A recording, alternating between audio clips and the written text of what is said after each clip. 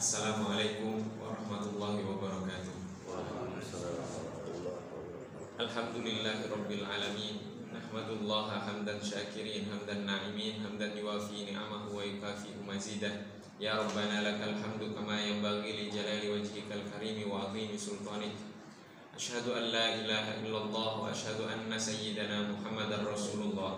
Allahumma salli ala sayyidina Muhammadin abdika wa rasulika nabiyil ummi wa ala alihi wa sahbihi wa sallim. Amma ba'du.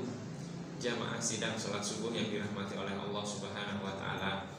Sebelum kita memulai dan melanjutkan kajian kita, mari kita sama-sama membaca Al-Fatihah kita khususkan untuk Al-Imam An-Nawawi dan juga seluruh para guru kita dan juga orang tua kita dan kita memohon kepada Allah Subhanahu wa taala. Semoga Allah Subhanahu wa taala menganugerahkan kepada kita pemahaman dan juga kemampuan untuk mengamalkan ilmu-ilmu yang telah kita pelajari.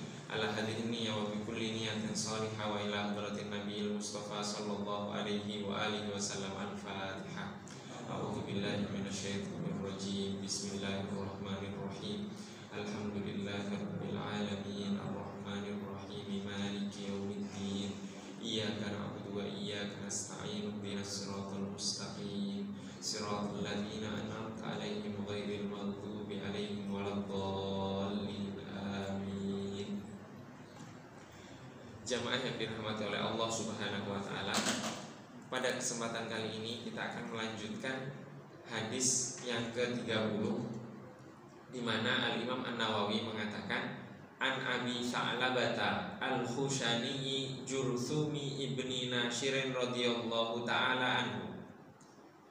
Dari Abi Sa'labah Al-Khushani Jurthum bin Nashir radhiyallahu taala anhu ar Rasulillah sallallahu alaihi wa alihi wasallam qal dari Rasulullah sallallahu alaihi wa alihi wasallam beliau bersabda innallaha azza wa jalla farada faraidha fala tudayyi'uha. Sesungguhnya Allah subhanahu wa ta'ala Allah azza wa jalla farada faraidha menetapkan kewajiban faraidha untuk beberapa perkara atau beberapa kewajiban. Fala tudayyi'uha maka janganlah kalian menyepelekannya. Wa hadda hududan fala ta'taduha dan memberikan batasan atas beberapa perkara fala ta'taduha maka janganlah engkau melanggarnya atau janganlah kalian melanggarnya. Wa harrama dan mengharamkan beberapa perkara fala tantahikuha maka janganlah kalian jatuh ke dalamnya. Wasakataan asya'a dan mendiamkan beberapa perkara rahmatan lakum sebagai bentuk kerahmatan untuk kalian. Ghaironisyanin bukan lupa fala tabahatsu anha maka janganlah kalian mencari perkara-perkara tersebut hadithun hasanun hadis ini derajatnya hasan rawahud daraqutni wa diriwayatkan oleh al-Imam Ad-Darqutni dan selain al-Imam Ad-Darqutni. Siapa selain Imam Ad-Darqutni? Ada Imam Hakim dan juga ada Imam Al-Baihaqi, ada Imam At-Tabrani yang meriwayatkan hadis-hadis ini. Jamaah yang dirahmati oleh Allah Subhanahu wa taala. Hadis ini oleh Al-Imam An-Nawawi dikatakan dengan dihukumi dengan hasan. Artinya di bawah sahih tapi di atas doif atau lemah. Kenapa dihukumi hasan? Karena para ulama berbeda pendapat terkait hadis hadis ini.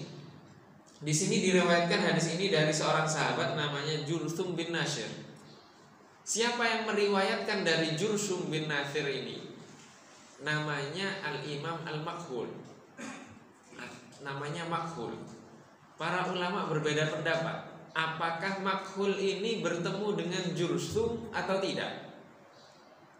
Sebagian mengatakan bertemu, sebagian lagi mengatakan tidak bertemu.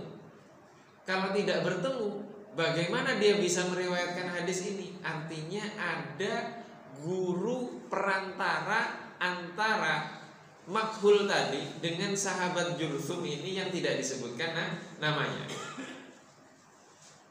Ini disebut dengan hadis dengan silsilah yang terputus. Silsilahnya ter, terputus. Maka ada yang menghukumi hadis ini dengan hadis yang lemah atau terputus. Tapi Al Imam An Nawawi mengatakan hasan. Ya sudah, kita ikut Imam An Nawawi. Kita mengikuti Imam An Nawawi. Di sini Rasulullah Shallallahu Alaihi Wasallam bersabda, sesungguhnya Allah Subhanahu Wa Taala menetapkan kewajiban-kewajiban. Di sini diungkapkan dengan faridotun. Apa itu faridoh? Faridoh itu sesuatu yang wajib dalam madhab asya asyafi atau dalam madhab jumhur jumhur ulama.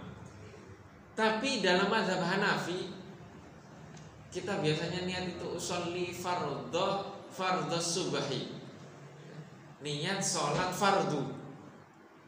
Jadi dalam mazhab Hanafi fardu itu beda dengan wajib. Fardu itu di atasnya wajib. Kenapa di atasnya wajib? Karena dalilnya sudah paten tidak diperdebatkan. Contohnya sholat lima waktu itu fardu bukan wajib. Kalau wajib itu dalilnya masih zonni atau belum apa bukan belum paten, tapi dia uh, di bawah dari fardu fardu tadi. Di bawah dari fardu itu dalam mazhab mazhab Hanafi. Tapi dalam mazhab kita, dalam mazhab jumhur ulama, khususnya mazhab Imam Ash-Syafi'i, fardu dan wajib itu tidak ada, tidak ada beda, tidak ada bedanya. Maka di sini Allah menetapkan kewajiban-kewajiban fala Maka janganlah kalian menyepelekannya. Apa fardu-fardu di sini? Apa wajib-wajib di sini? Contohnya salat lima waktu. Itu wajib. Zakat itu wajib.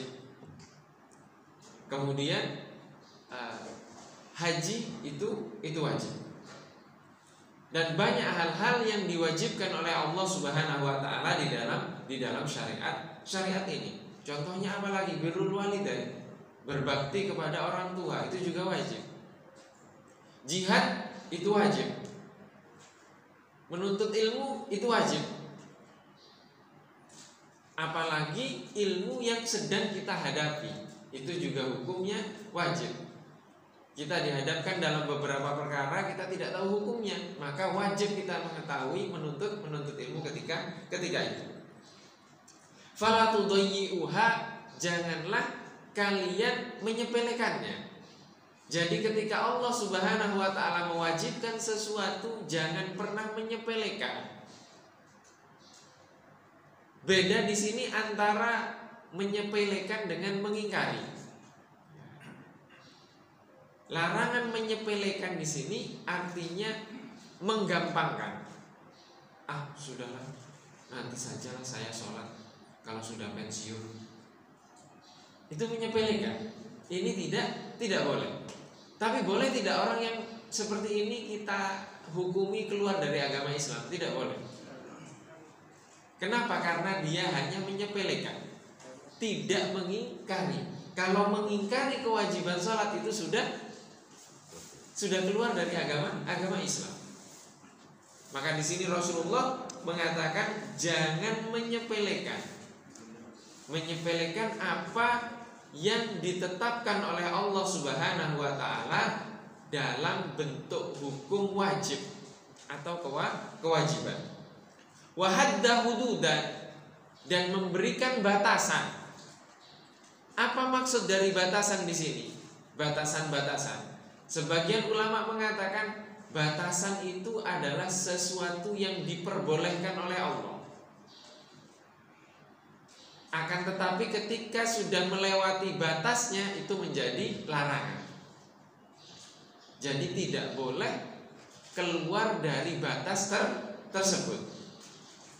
Akan tetapi sebagian ulama mengambil pemahaman yang lain. Apa itu? Batas itu adalah batas akhir. Artinya larangan. Bukan sesuatu yang dibolehkan tapi larangan. Ketika kita sudah melewati garis batas itu maka itu sudah larangan. Jadi dihitungnya larang, larangannya bukan sesuatu yang diperbo diperbolehkan. Fala ta'taduha. Maka janganlah engkau melanggarnya. Jadi Allah Subhanahu wa taala itu memiliki batasan-batasan tertentu dalam kehidupan kita yang kita tidak boleh melanggarnya. Kalau sudah kelewat dari batas itu menjadi menjadi haram. Menjadi menjadi haram. Wa harrama asya'a dan Allah Subhanahu wa taala mengharamkan sesuatu. Mengharamkan beberapa perkara. Banyak di dalam Al-Qur'an. Hurrimat alaikumul maitatu. Diharamkan untuk kalian apa al-maitatu? Bangkai. Al-maitah itu bangkai. Jadi bangkai itu diharamkan oleh Allah Subhanahu wa taala. Berarti semua bangkai haram. Tidak. Ayat ini ada yang ada pengecualiannya. Apa bangkai yang haram? Bangkainya ikan di laut. Itu halal. Kenapa? Karena Rasulullah Wasallam bersabda, al bahru apa? Al bahru air laut itu apa? Tohur suci. Wahillu maitatuhu. Dan mayat-mayatnya atau bangkai-bangkai yang ada di laut itu halal. Maksudnya ikan kalau terapung biasanya karena nelayan kadang pakai apa itu?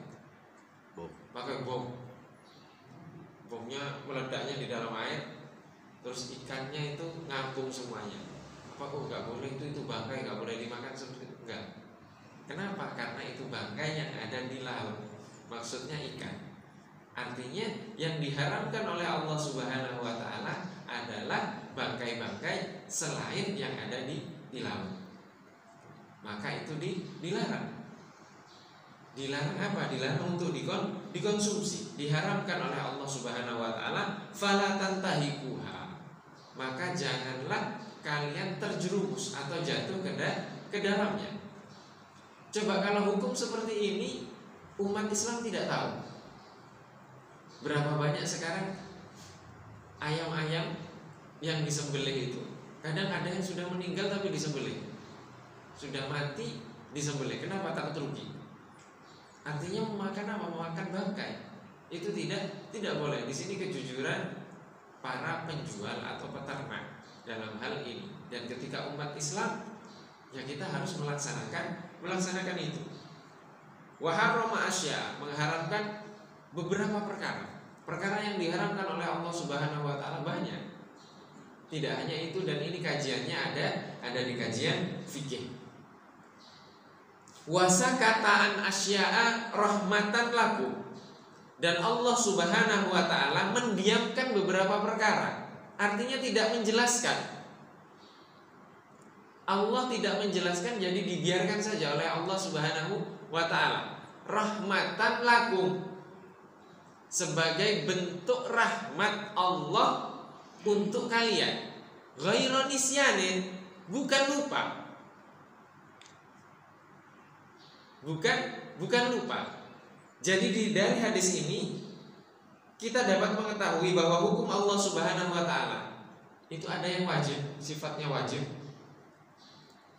Setelah itu yang kedua ada batasan-batasan yang tidak boleh dilewati, artinya ini mubah. Sesuatu yang dibolehkan selama tidak melewati batas batas tersebut. Kemudian yang ketiga ada yang diharamkan. Artinya ada yang sudah dibatasi oleh Allah, ada yang sudah ditentukan oleh Allah Subhanahu wa taala keharam, keharamannya. Kemudian yang keempat, sesuatu yang dibiarkan oleh Allah Subhanahu wa taala tanpa penjelasan, tanpa hukum. Tanpa penjelasan, tanpa tanpa hukum. Sebagai bentuk apa? Bentuk rahmat Allah bagi umat manusia ini. Ghaironisyan bukan lupa. Fala tabahathu anha. Maka janganlah kalian mencari perkara-perkara yang Allah Subhanahu wa taala tidak menentukan hukumnya. Tapi larangan ini bukan untuk kita sekarang. Larangan ini untuk para sahabat ketika ketika itu. Kenapa? Karena para sahabat itu dilarang banyak bertanya karena Rasulullah sudah menjelaskan. Dibiarkan oleh Allah Subhanahu wa taala tentang sebuah sebuah hukum. Banyak sesuatu yang ditinggalkan oleh Rasulullah ternyata tidak haram. Ada sejenis kadal tapi besar. Namanya dop jadi ini seperti kadal tapi lebih besar dari kadal, lebih kecil dari biawak. Itu namanya dok. Adanya di gurun pasir. Kalau kita cari di YouTube itu banyak. Cara hidupnya di lubang-lubang kemudian dipancing keluar. Setelah itu disembelih. Ini Rasulullah pernah dihidangkan adab ini kepada siapa? Kepada Rasulullah Shallallahu Alaihi Wasallam. Tapi kemudian Rasulullah tidak menyentuhnya dan tidak memakannya. Ditanya oleh sahabat, Rasulullah ini haram. Dijawab oleh Rasulullah, tidak. Itu tidak haram. Tapi karena di kabilahku tidak terbiasa makan daging untuk ini. Jadi ternyata sesuatu yang tidak ditinggalkan oleh Rasulullah itu ada yang tidak tidak haram. Ada yang mengatakan sekarang bahwa Rasulullah tidak pernah melakukan itu. Apakah yang tidak pernah dilakukan oleh Rasulullah itu kemudian otomatis haram? Ternyata tidak. Itu bentuk rahmat. Rahmat Allah Subhanahu wa taala kepada umat kepada umat ini. Jadi tidak semua yang ditinggalkan, yang tidak dilakukan oleh Rasulullah Shallallahu alaihi wasallam itu otomatis auto haram gitu tidak, tapi butuh pembuktian. Maka larangan ini jangan mencari sesuatu yang tidak dijelaskan oleh Allah Subhanahu wa taala ini untuk para sahabat. Kenapa? Karena Rasulullah Shallallahu alaihi wasallam ada ketika itu dan ketika mereka tidak tahu, bertanyalah kepada Rasulullah Shallallahu alaihi wasallam. Sehingga kemudian jelas hukum dari perkara yang mereka tidak ketahui. Maka para ulama mendiskus uh, menyampaikan bahwa larangan mencari ini bukan mencari hukum, tapi mencari perkara-perkara yang kita tidak diminta oleh Allah Subhanahu wa taala untuk mengetahuinya. Dan tidak ada faedahnya juga kita mengetahui hal hal itu. Contohnya apa? Banyak perkara ini terkait dengan perkara akidah atau keyakinan atau tentang keimanan. Ada orang yang bertanya, dunia ini ada yang menciptakan, yaitu Allah Subhanahu wa Ta'ala. Semuanya ada yang menciptakan. Terus yang menciptakan Allah siapa? Nah, mencari hal-hal yang seperti ini itu dilarang. Kenapa dilarang? Karena ini tidak ada faedahnya. Tidak ada faedahnya. Ada hal-hal lain ada pertanyaan Allah di mana? Ini juga nggak ada faedahnya bagi kita. Bagi orang-orang yang ingin berdakwah untuk non muslim, ingin memastikan atau ingin memberikan argumentasi tentang eksistensi Allah, silahkan pelajari kajian seperti ini. Tapi bagi kita yang sudah beriman, penting kita tahu Allah ada di mana. Tidak penting. Kita sudah sholat menghadap kiblat lima waktu, kemudian kita mencari Allah ada di mana. Kita belum merasakan eksistensi Allah. Itu sudah salah. Loh, bukannya di dalam Al-Quran ada Ustaz. Firman Allah Subhanahu wa taala yang mengatakan Ar-Rahmanu 'alal arsy istawa. Ar-Rahman Allah Subhanahu wa taala yang Maha Rahman ala di atas al-arsy, di atas arasnya istawa. Istawa artinya jalasa, duduk. Jadi Allah duduk di atas aras. Berarti Allah di atas langit. Kemudian kita sibuk dengan perkara-perkara tersebut, itu mengganggu. Kajian seperti ini tidak perlu dikaji. Untuk apa? Untuk majelis-majelis seperti seperti ini. Karena apa akan mengganggu? Sudah, kita sudah yakin kepada Allah, tidak perlu kita tahu Allah ada di mana. Yang jelas Allah melihat kita di mana pun kita berada. Itu sudah jelas. Allah ada di mana, melihatnya dari mana, tidak perlu kita kaji. Karena apa? Wala anha. Memang nanti ketika malaikat bertanya kepada roh kita ketika kita meninggal, kita ditanya Aina Allah gitu. Eh, Aska, Allah di mana? Gitu. Kan tidak, yang ditanya man robbuka. Man nabiyuka, ma kita buka. Itu yang ditanya, bukan di mana Allah. Jadi Allah ada di mana itu salah satu pembahasan yang tidak perlu dicari. Oleh siapa? Oleh kita. Kenapa tidak ada faedahnya juga kita tahu Allah ada di mana? Yang kita butuhkan adalah kita yakin bahwa Allah lah yang menciptakan menciptakan kita. Maka hukum-hukum inilah Rasulullah Shallallahu Alaihi Wasallam meringkas hukum-hukum yang ada di dalam agama kita dari hadis ini yaitu ada empat tadi. Pertama bersifat fardu atau wajib. Yang kedua Allah memberikan batasan larangan artinya sesuatu yang boleh Kemudian yang ketiga, Rasulullah Shallallahu Alaihi Wasallam menjelaskan Allah memberikan menentukan hukum keharaman kepada sesuatu dan ini juga sudah jelas. Dan yang terakhir Allah tidak menjelaskannya. Yang tidak menjelaskan ini tidak perlu tidak perlu dicari. Tidak perlu dicari. Bisa Allah menjelaskan Allah di mana tidak tidak dijelaskan oleh Allah. Maka kita tidak perlu mencari perkara-perkara yang seperti seperti itu. Akan tetapi ketika kita hidup di zaman yang sudah 1400 tahun setelah Rasulullah ini banyak perkara-perkara baru, hal-hal baru yang di masa Rasulullah Shallallahu Alaihi Wasallam dulu tidak ada. Dulu tidak ada di masa Rasulullah. Itulah yang butuh kita kaji dan bagaimana kita mengetahui hukumnya agar kita tidak terjatuh kepada sesuatu yang haram tidak jatuh kepada sesuatu yang dilarang oleh Allah Subhanahu wa taala.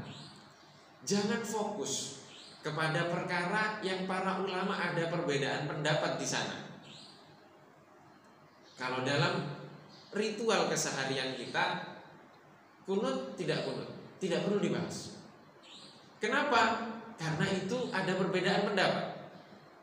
Selama ada perbedaan pendapat, maka ada yang mengikuti yang membolehkan, ada yang mengikuti yang mengatakan itu tidak tidak dianjurkan atau mengatakan itu bid'ah. Itu biasa, biasa saja. Tapi dalam kehidupan kita ada banyak perkara-perkara baru. Bang, ada di masa Rasulullah bang? Tidak ada. Adanya Baitul Mal. Perbendaharaan kekhalifahan zakat semuanya dikumpulkan di situ, sedekah semuanya dikumpulkan di situ. Dalam satu badan. Itu namanya Baitul Baitul Mal. Dulu tidak ada bank. Nah, sekarang ada bank. Dulu pinjam kepada orang itu perorangan. Sekarang pinjam orang, pinjam kepada instansi. Itu perubahan. Nah, di sini butuh hukum. Apalagi sekarang di negara kita sudah nggak ada, jarang sekali sekarang kita pakai uang cash. Bahkan banyak warung-warung toko-toko tidak menerima uang cash, semuanya pakai QRIS. Tinggal scan uangnya ke mana? Ada uangnya? Nggak ada. Uangnya hanya nominal aja yang tertulis di aplikasi di HP. Jadi tinggal tulisan saja. Scan, masukkan, terpotong langsung. Scan, masukkan, terpotong. Ada di masa Rasulullah seperti itu? Tidak ada. Uang kertas di masa Rasulullah ada? Tidak ada. Itu semuanya perubahan-perubahan zaman yang membutuhkan penjelasan. Bagaimana dengan transaksi atau masalah yang kita hadapi dalam kehidupan kita? Mustahil. Allah mewahyukan Al-Quran, Allah mewahyukan hadis kepada Nabi Muhammad SAW itu tidak bisa menyelesaikan permasalahan yang kita hadapi sampai akhir zaman itu mustahil. Pasti bisa menyelesaikan, tapi ada caranya dan ada ada ilmunya. Maka dalam perkara ini yang kita hadapi dalam kehidupan sehari-hari, kita harus bertanya atau kita harus pelajari sampai kita mengerti. Mengerti apa? Mengerti hukum dari perkara yang kita hadapi. Mengerti hukum dari perkara yang kita yang kita hadapi. Kemudian contoh kami pernah waktu praktek fatwa pendidikan fatwa di Mesir itu ada suami istri datang kemudian dia konsultasi menanyakan sebuah hukum. Sang istri mengatakan bahwa suaminya sudah menalaknya berkali-kali. Ditanya, kapan pertama kali menalak istrimu? Sang suami ditanya. Dijawab, setelah akad nikah tepat. Tepat setelah akad nikah, orang tua dari kedua mempelai ini bertengkar.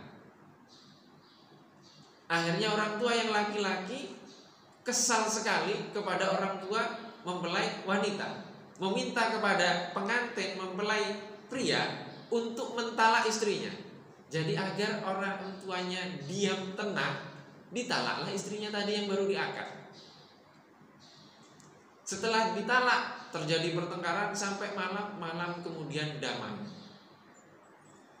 Setelah damai tersebut nanya ke penghulu bagaimana ini masalahnya penghulunya menjawab ya sudah nggak apa-apa bayar kafaroh saja atas perkataanmu talakmu yang yang tadi dibayarlah kafaroh setelah dibayar kafaroh sudah terjadi uh, apa hubungan keluarga hubungan suami istri sampai mereka datang ke, ke lembaga fatwa itu sudah punya lima anak Terus talak yang kedua kapan? Talak yang kedua itu setelah anak ini begini-begini cerita. Apa yang terjadi? Yang terjadi hukumnya sebenarnya ini bukan istrinya. Menalak wanita sebelum disentuh dan sebelum khalwat atau berdua menyendiri di kamar meskipun belum melakukan apa pun itu langsung jatuh talak baik. dan harus nikah ulang dengan mahar baru. Karena apa? Karena belum disentuh. Kalau sudah disentuh, iya ada iddahnya. Tapi kalau belum disentuh dan belum khalwat, belum berdua menyendiri di ruangan yang tidak ada orang lain, itu iddahnya adalah tidak ada, langsung jatuh talak baik. Jadi harus nikah ulang. Karena ketidaktahuan penghulu tadi Dia mengatakan oh, sudah cukup cakap faroh Tidak perlu tidak perlu akad ulang Ini salah Sehingga harus dinikahkan ulang lagi Terus anaknya yang lima bagaimana? Ya namanya juga orang tidak tahu Maka dosanya ditanggung oleh penghulu Penghulu tadi Ini perkara-perkara dalam akad Dalam pernikahan Dalam kehidupan sehari-hari banyak yang kita butuh penjelasan. Maka jangan sampai ketika kita menghadapi perkara-perkara baru dalam kehidupan kita bertanya kepada apa? Bertanya kepada Syekh Google. Hati-hati. Jangan bertanya kepada YouTube. Kecuali kita sudah tahu figurnya. Oh, saya punya guru. Gurunya siapa? Syekh ini, kiai ini. Beliau punya majelis di internet juga di YouTube juga silahkan ikuti kalau sudah mengenal. Tapi kalau belum tahu, kalau belum tahu siapa orang tersebut, jangan diambil il ilmunya. Inilah yang membuat sekarang kita banyak bertengkar, banyak berselisih, banyak ribut. Kemudian terjadi perpecahan karena apa? Karena kita sudah minim rujukan. Kita mau merujuk kepada siapa? Kalau dulu tidak ada. Dulu waktu saya kecil saja sudah tidak ada permainan itu hanya main bersama teman. Kalau sekarang anak-anak kita sudah lebih pintar dari kita karena membuka banyak informasi dari gadget yang mereka pegang. Mereka belajar dari sana. Bagaimana kita tahu mana yang benar, mana yang salah, mana yang rujukan, mana yang bukan rujukan. Oleh karena itu, kita harus banyak belajar terkait hukum-hukum Allah Subhanahu wa taala, khususnya larangan, mana yang diharamkan, mana batasan Allah, mana yang diperkenankan, mana yang Allah Subhanahu wa taala tidak menyebutkan hukum dari perkara-perkara yang dihadapi oleh Rasulullah Shallallahu alaihi wasallam dan para sahabat ketika itu dan itu bentuk rahmat Allah Subhanahu wa taala kepada kepada kita. Wallahu wa rasuluhu alam. Ini yang dapat kita kaji pada kesempatan kali ini yaitu hadis yang ke-30 dan insya Allah akan kita lanjutkan jika Allah Subhanahu wa taala masih memberikan kesempatan hidup kepada kepada kita. Jika mungkin ada yang ingin ditanyakan atau ada yang ingin didiskusikan dipersilakan.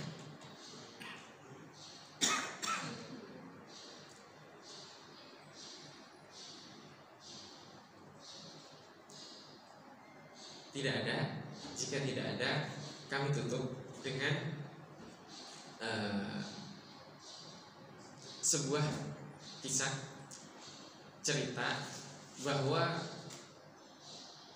Sayyidina Anas bin Malik ini sahabat Rasulullah Shallallahu Alaihi Wasallam setelah Rasulullah Shallallahu Alaihi Wasallam dimakamkan beliau mengatakan belum saja kami mencuci tangan kami dari tanah-tanah setelah kami memakamkan Rasulullah. Kami merasa ada yang hilang dari hati kami. Apa itu pandangan Rasulullah Shallallahu Alaihi Wasallam? Jadi Rasulullah tidak ada baru memakamkan itu sudah ada yang hilang di hatinya ada yang hilang di hati, di hati para sahabat. Nah, hilangnya Rasulullah atau Rasulullah sudah tidak hidup lagi ketika itu, itu ada yang kurang dari hati para sahabat. Yang sebelumnya mereka mereka ini sebelumnya mereka sebelumnya itu ada Rasulullah itu sudah lengkap, sempurna sehingga mereka tidak berselisih, tidak bertikai, tidak bermusuhan. Karena apa? Karena ada sosok Rasulullah Shallallahu Alaihi Wasallam. Jadi ketika dipandang oleh Rasulullah, mereka langsung rasanya bagaimana?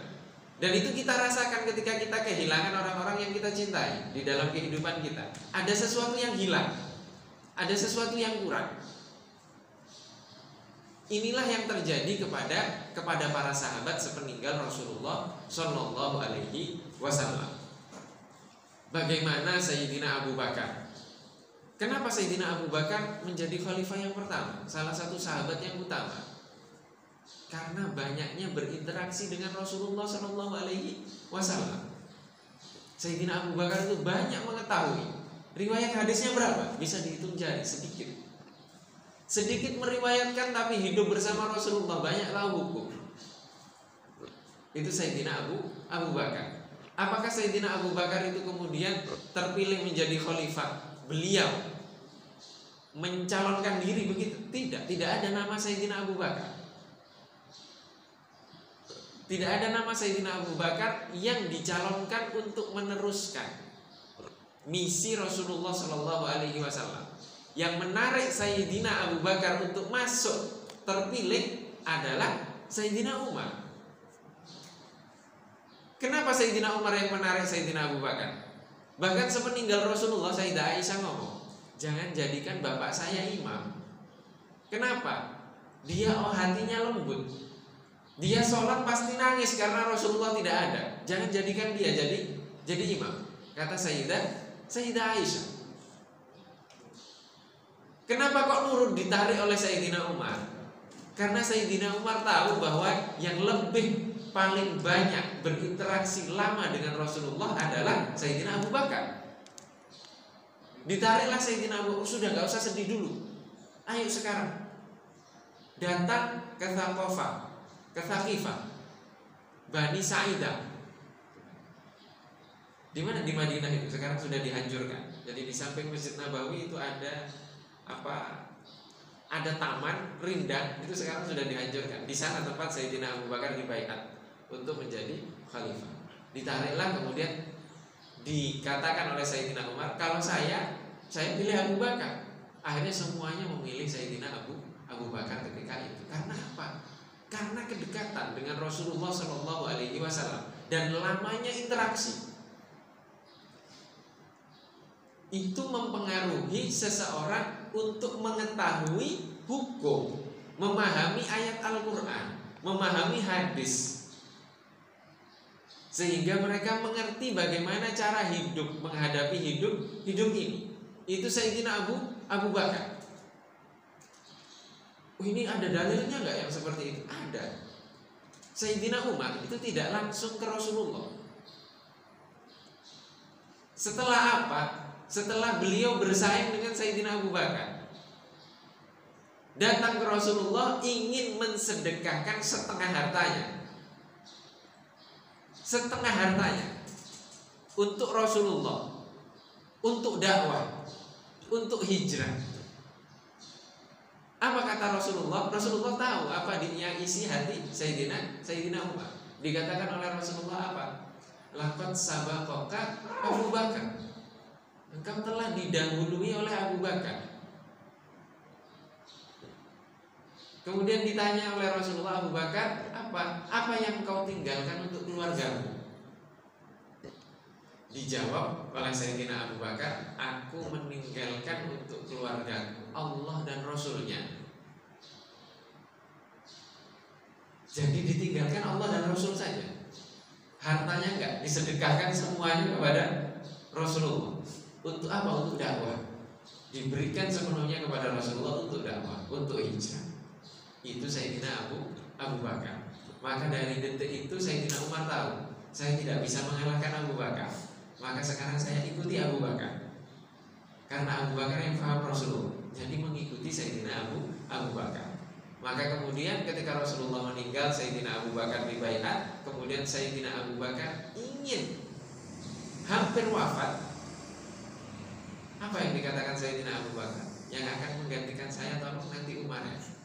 Akhirnya dibaiatlah Sayyidina Sayyidina Umar untuk menggantikan Sayyidina Abu Abu Bakar. Begitu seterusnya sampai kepada kita sekarang. Lah kita sekarang bagaimana? Mau menghadapi hidup ada permasalahan tidak tahu penyelesaiannya nanya ke internet atau langsung kepada Al-Quran langsung kepada hadis bisa paham kita tidak bisa. Semuanya harus melalui perantara siapa ini yaitu guru. Guru inilah yang akan menjelaskan tentang hukum-hukum tadi. Mana yang diharamkan, mana yang dihalalkan, mana yang dibatasi, mana yang Allah Subhanahu wa taala tidak memberikan dalil atas hal hal tersebut. Sehingga butuh dijelaskan menggunakan dalil-dalil yang yang ada.